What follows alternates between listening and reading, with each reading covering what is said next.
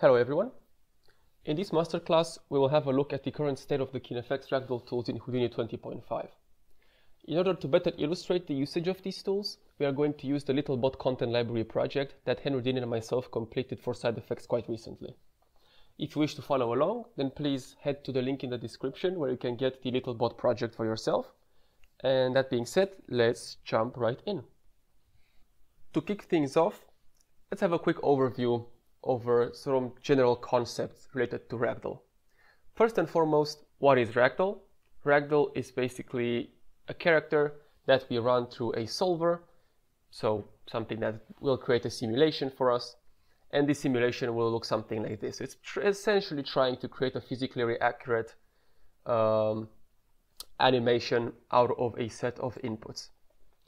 Now, in this network right here, we can see we have a Ragdoll solver SOP, and that's been around for a while. So I'm just going to mention it here and then uh, not come back to it in this particular masterclass. But I think it's still a good example to illustrate the sort of the core concepts of, uh, of Ragdoll. So what do we need in terms of data for creating a Ragdoll simulation? Now, of course, we, as I said, we have we need a character, which in KineFX land, it's more or less defined by its skeleton, at least in terms of animation. And this is a classic sort of KineFX skeleton where if I drop down, for example, a rig pose, we should be able to see all the joints that we have available and we can select those joints, translate them, rotate them around and stuff like that. So this is just your generic KineFX skeleton. Um, next up, we've got a set of collision shapes. So these are a set of packed primitives, which basically what they do in a nutshell is the moment we have a skeleton, we don't have any volume for our character and because we're running a physically based simulation we need some type of volume per you know limb per piece or it depends on your character so that the solver can actually create the proper collisions and interactions. And this is what the collision shapes are. So we imagine that we're kind of taking the skin of the character we're kind of dicing it about and creating convex shapes out of that which are obviously overly simplified as well because we want our solve to run as fast as possible and that then can be fed to the solver uh, itself so it can figure out uh, collisions and all of that. And then we just plug all of those into the Ragdoll solver. Uh, one thing I want to mention though is that one an extra bit of data which can't be seen here because it lives on the skeleton is the rotation limits. So if we look back at the result here, we can see that even though our character kind of falls, you know, without any um, any direct animation, so to speak, we can still see that you know the, the legs and the knees they sort of bend in a more or less natural fashion, and this is because the solver knows, or we told the solver what's the range of motion on each of those joints, so that the produced simulation sort of sticks within reasonable ranges, so it can produce a realistic animation, and that is achieved with rotation limits. So I can show you here the configure joint limits SOP and if we come over to the guide geometry and just display rotation limits, we can see our ranges of motion for each joint. So in terms of setting all this data up, we're going to touch on that shortly. For now, I just want to make it very clear what the data, what's the required data for a successful simulation. Okay? So we come back here to the solver, um, and here is just a skin that we won't deform so we can see the actual result can see that again. Worth noting that the output, even though if I dis display the Ragdoll solver, we see the collision shapes. This is just a visualizer. The actual output of the solver is a skeleton.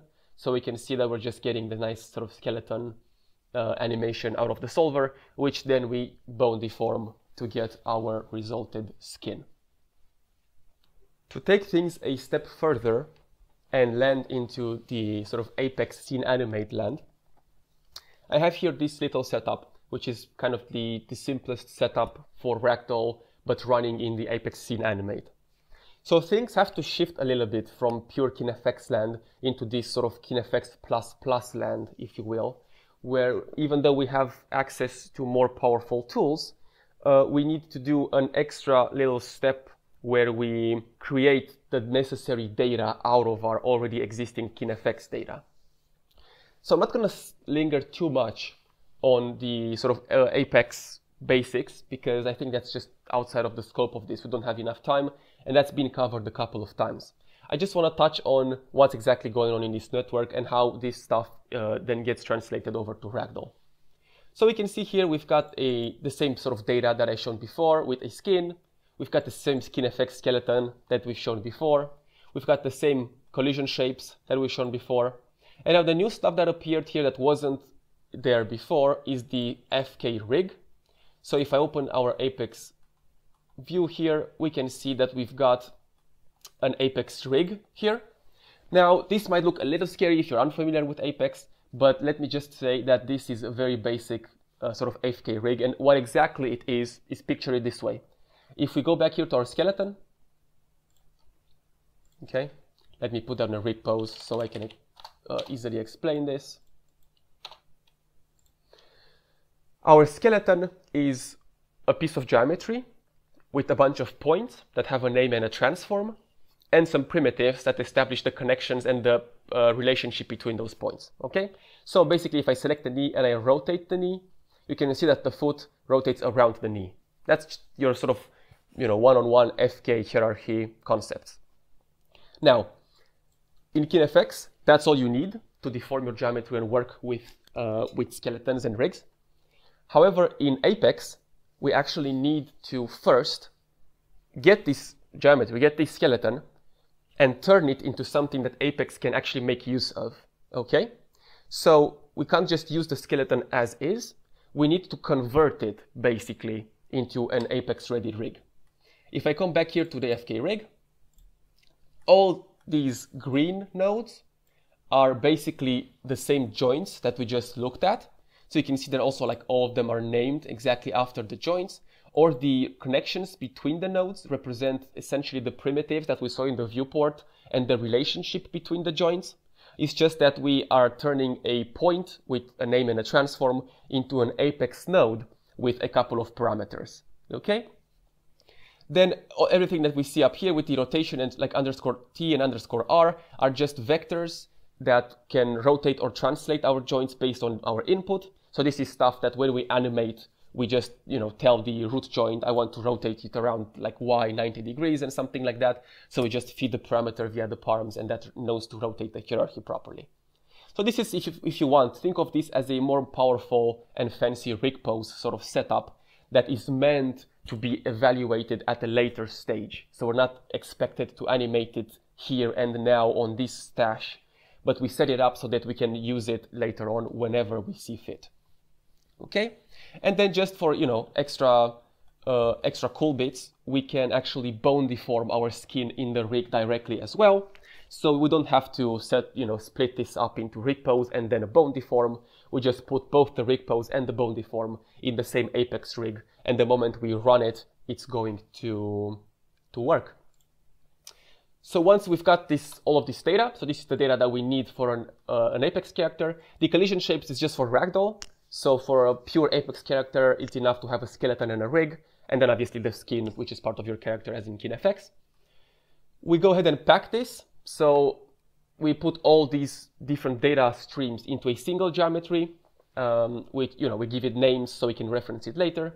Then we create a character out of that. So now our structure looks something like this with a little bot.char, which represents our sort of top level uh, geometry container. And underneath this geometry container, we've got all the bits in our character that we care about, right? In Apex, what's super cool, one of the many things, is that we have access to, we can basically put in as many characters as we want on a single geometry stream and animate with all of them at the same time. I'm going to skip these nodes for now. I'm going to go straight to scene animate and I'm going to go into this state and now we can see that we've got our nice FK rig. So this should ring a bell. It's basically your KineFX rig pose, except we see the skin being deformed at the same time that we are posing our character. All right, so this is your basic, basic Apex rig um, built straight from the skeleton. Now, let's remember the ragdoll part where before, actually, let me just scroll up here so we can see it here. Before, we had our skeleton plugged into the solver directly and that was running uh, and then we were just bone deforming the result. But now in Apex, because we don't exactly work with a single character anymore, we don't have a single input to our ragdoll, So the input can be anything, okay? So what I mean is if I go back in and I go here to the ragdoll tool, or I press C and switch over to ragdoll tool, uh, from the get-go we can see that there's nothing there, okay? Just our character. Have a couple of handles and stuff like that, but there's no ragdoll character that appeared in the state. And the reason for this is that our ragdoll tool doesn't know what where to fetch the data from because again we don't have a single skeleton input but we can have many characters so there's two ways to tell ragdoll where to look for the data. The one the first one and the one that's been here in 20 as well is via the H key. You can see it up here create ragdoll character. So i press H and i will be prompted with a couple of fields to basically just go through and let the ragdoll know where to look for all the data that it needs. However, a better approach, in my opinion, and something that's easier to, to see, uh, is this configure character SOP up here. So I'm going to go ahead and unbypass that and select it. This was added in 20.5. Um, it's basically the same process as the H key. It's just that it provides a parameter interface for you and a couple of menus and stuff like that. So it's a bit easier to set it up and you know constantly go back to it and look at uh, and look at what you've configured. So I'm not going to linger too much right now, but I'm going to explain this uh, at a later example. I just wanted you to sort of get this idea that uh, this is required. The moment I add that and I do a reset, don't think I had to do the reset, but go back into the state. Now if I switch over to Ragdoll, we see that something appeared underneath our character. So if I go ahead and play, we can see that we've got our Ragdoll character playing. Okay? Let me go ahead and just clean up a little bit here so we can see it a little bit better. Just offset it to the side. And if I play again, you can see Ragdoll in action. Now, another thing that we are missing compared to the previous example is that we don't actually see the skin move, all right? So why is that? This is because, again, in SOPs, we had the skeleton let me go up here again. The skeleton goes into the solver, okay? The solver will solve and create a simulation, and then we get out the same skeleton, and then with that we can do whatever we want, like bone deform uh, our, our skin.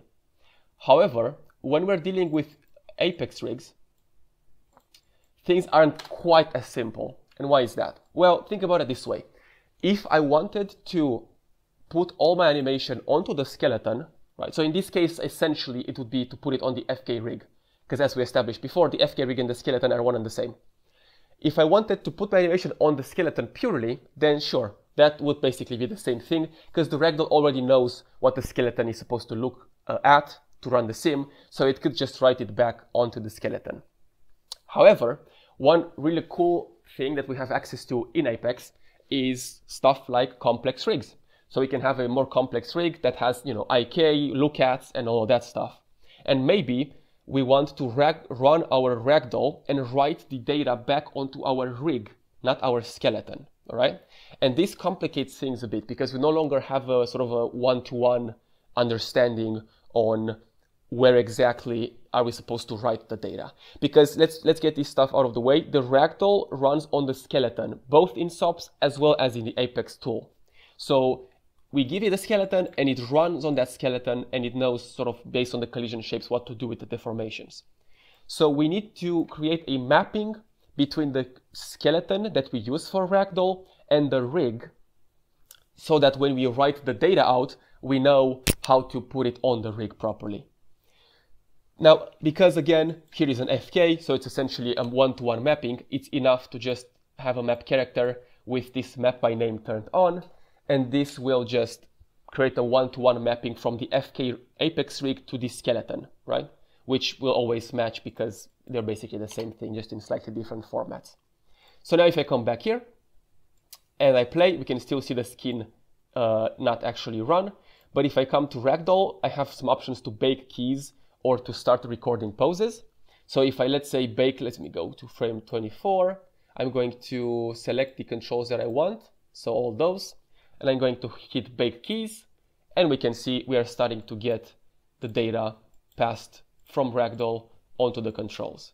Okay, I can also essentially do start recording poses and this will just record a dense set of keys over my controls.